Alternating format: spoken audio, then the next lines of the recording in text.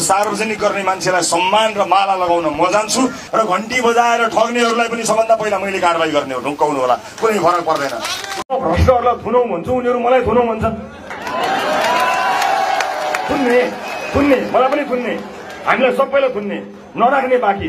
तर थुन्ने क्रममा हाम्रो लाइन त अलिक पछाडि आउला कि लाइन मिचेर अगाडि जानुपर्ने हो हामी। त्यत्रो अपराध हो यो देशमा। यति मात्र भन्न खोजेको हामीले। पछि आमा बुवा दाजुभाइ दिदीबहिनी अहिले पनि सामाजिक सञ्जालमा कतिपय मानिसहरूले हामीलाई समर्थकहरूले गाली गरेको कुरालाई लिएर हामीलाई कटाक्ष गरेको मैले हेरेँ। मैले इन्टरनेट समाचारहरूमा त्यति धेरै ध्यान दिन पाएको छैन चुनावी अभियानमा।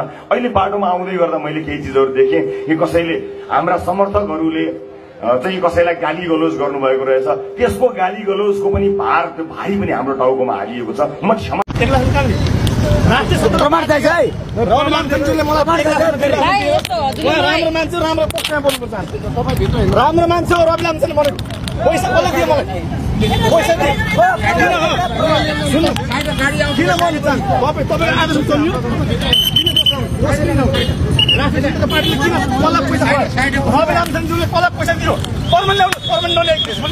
पार्टीले किन चितवनको आइमाईलाई उखानी भनेको आइमाई भट्टामा जहाँ पनि कार्यक्रम सक्सेस हुन्छ त्यसले त्यस्तो पनि यो चुनाव मात्रै सकियोस् त्यसलाई त्यसलाई पेटीकोट ओढाउने त्यसलाई यहाँ चितवनवासीले मुद्दा हाल्नलाई मैले हामी घर अभियान हो त्यसले त्यसले हामीलाई के अरे चितवनका अ, र अहिलेको चुनाव उपनिर्वाचनको लाई र म आफ्नै आफ्नै मान प्रतिष्ठालाई सबैलाई चाहिँ घात परेको हुनाले त्यसप्रति म एकदम क्षमा प्रार्थी छु। यो अडियो चाहिँ खास गरी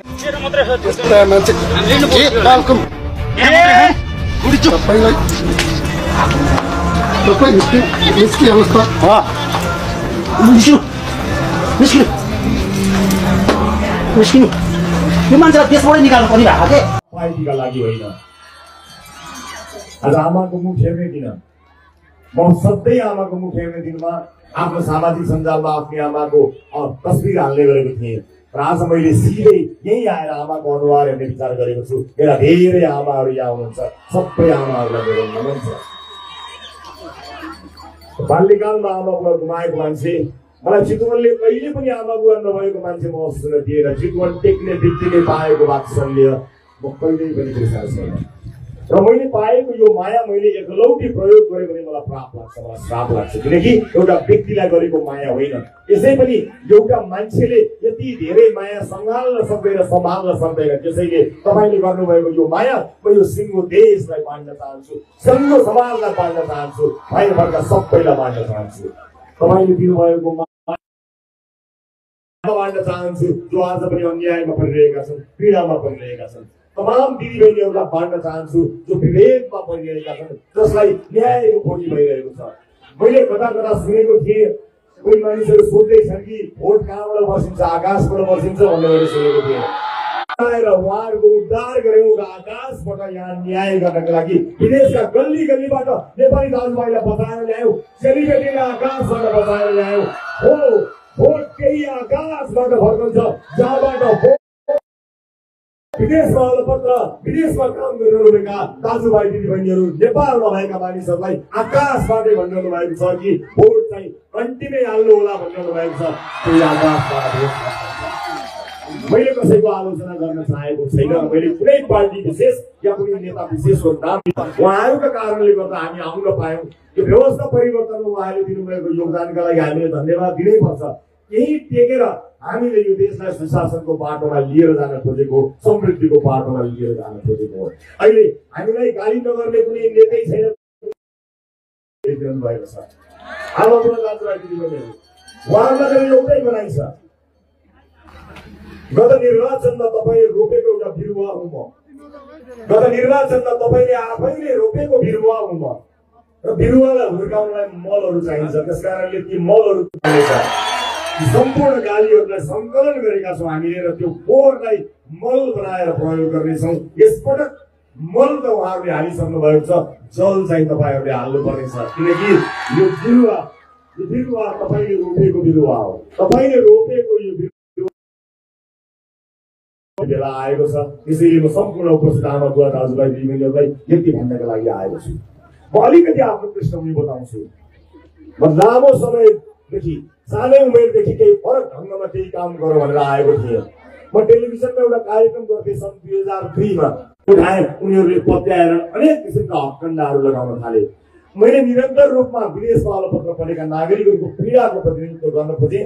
गाउँ बस्तीमा जनताको दुःख देखाउन खोजेँ। उनीहरूले पत्याएर सुनेन होइन भने हामीले निरन्तर त्यो आवाज उठाउँदै गयौँ। तर नेपाली जनताले अनुमोदन गर्दै गर्दै गर्दै गर्दै अगाडि लिएर गयो। झुटा मुद्दामा म यहीँनिर थुनिए यहीँनिर त्यहीँनिर म यही बसेर तपाईँले मेरो न्यायको लागि आवाज उठाउनु भयो र मैले भन्न सुरु गरेँ। कसैलाई न्याय चाहिन्छ भने आजको युगमा चितवन जानु र न्याय माग्न आउने मान्छेहरूलाई अनुरोध गर्न चाहन्छु।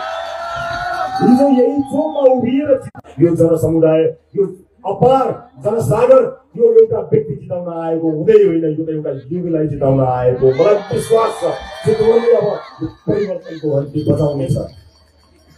गत निर्वाचनमा हामीले ल्याएको परिणाम एउटा शान्त झुल्को त चितवनमा सल्काएका हो नि। चितवनले चाहेपछि नहुने कुरै थिएन। परिणाम आयो अहिले राज्यले थाहा पाएको छ। अहिले राज्यले थाहा पाए कुनै अर्को दलले अर्को दललाई केही भन्ने गाली गलोज गरिरहेका छन् हाम्रो आलोचना गरिरहेका छन्।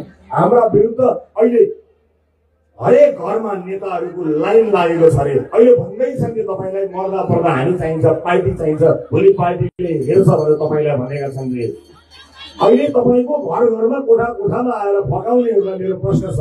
तपाईँका छोराछोरीहरू काम खोजेर विदेश जानुपर्दा रुँदै गर्दा उनीहरू म छु भन्न आए? आएन। आएन कोही पनि आएन। तपाईँहरूलाई विभिन्न लोभ देखाएर जाली तमसुकमा हस्ताक्षर लगाएर ऋणको भारमा पार्दा चिन्ता नगर त्यस्ता जाली तमसुक हामी च्याप्छौँ भन्न आए आएनन् किनकि अहिले त भोट चाहिएको छ। तपाईँको आँसु पुछ्ने त्यो साहस पनि थिएन उनीहरूसँग। त्यसका लागि उनीहरू आएका पनि थिएन। अहिले भनिरहेका छन् तपाईँलाई कि आफ्नो पार्टी चाहिन्छ। त्यसलाई नआल त्यहाँ भोट नआल दाजुभाइ दिदीबहिनीहरू। मैले प्रसङ्ग कोट्याउनै पर्छ। कि मन नभएको भगवान् मन नभएको हरि सम्झेर भोट हाल्ने बेलामा हेर्नु होला भनेर तपाईँहरूलाई अलिकति भावनात्मक रूपमा पनि भनिएछ। म पनि त्यही भन्छु। त्यही मन नभएको हरि सम्झिनु होला बत्तिस वर्षसम्म तपाईँलाई गरिब कसले बनायो? त्यही हरि सम्झेर भोट होला। त्यही हरि सम्झेर भोट हाल्नु होला। जसका कारणले आज यो देशका युवाहरू मरुभूमिमा पसिना बनाइरहेका छन् र भनिरहेका छन् त्यही हरिलाई सम्झेर जसले बनायो भोट हाल्नु होला। त्यही हरिलाई सम्झेर भोट हाल्नु अनुरोध गर्न चाहन्छु। आज किसानको आँखामा आँसुका धारा बगाइएको छ। त्यो कसले बनायो त्यही हरिलाई सम्झेर भोट हाल्ने बेला भन्नु होला। यो तिस बत्तिस वर्षमा कसले बनायो यहाँलाई भन्नु। पाप र धर्मको कुरा गर्ने हो भने आमा बुवा दाजुभाइ दिदीबहिनीहरू पाप र धर्मको यदि चिन्ता कसैलाई हुन्थ्यो भने यो देशको यस्तो दुर्दशा हुने थिएन।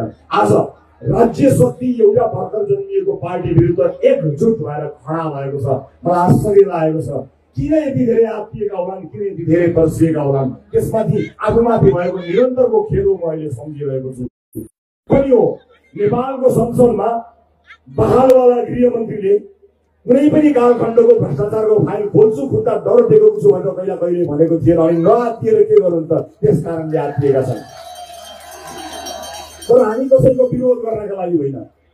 हामी कसैको विरोध गरेर जो तपाईँले कुनै पनि दलको सदस्यता लिइरहँदा तपाईँले सम्झिनु भएको तपाईँले कङ्ग्रेसको सदस्यता लिनुभएको भए तपाईँले सम्झिनु भएको बिपी र सुवर्ण शमशेरहरूको पार्टी थियो। त्यसकारण तपाईँ यस पार्टीमा लाग्नु भएको तपाईँ कम्युनिस्ट पार्टीमा लाग्नु भएको हो भने तपाईँले सम्झिएका नेताहरू पुष्पलालहरू थिए मनमोहन अधिकारीहरू थिए मदन भण्डारीहरू थिए। ती महान मानिसहरूप्रति मेरो आत्मैदेखिको श्रद्धा छ उहाँहरूप्रति विश्वास छ उहाँहरूप्रति आदर भाव छ।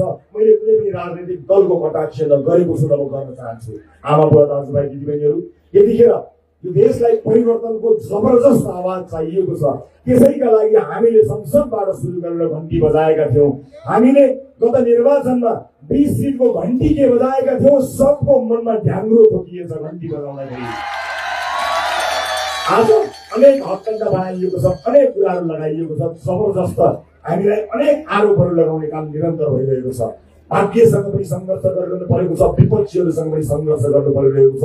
तर यो सङ्घर्ष हामी जित्नेछौँ। तपाईँको आडमा तपाईँको भरोसामा तपाईँको सहारामा यो सङ्घर्ष हामी जित्नेछौँ। किनकि यो सङ्घर्ष एउटा व्यक्ति बनाउनका लागि एउटा व्यक्ति जिताउनका लागि गरिएको सङ्घर्ष होइन। एउटा युगलाई जिताउनका लागि गरिएको सङ्घर्ष हो। उपस्थित आमा बुवा दाजुभाइ दिदीबहिनीहरू हामीले यो यात्रामा तपाईँको साथ हिजो मागेका थियौँ। हिजो तपाईँले दिनुभएको साथको यसपटक हामीलाई निरन्तरता मात्र चाहिएको हो। त्यो निरन्तरताका लागि म यहाँलाई अनुरोध गर्न चाहन्छु। अब पनि तपाईँलाई झुक्क्याउन तपाईँलाई तर्साउनको निमित्त मतदान केन्द्रमा अनेक चिज हुनेछ हुन सक्छ।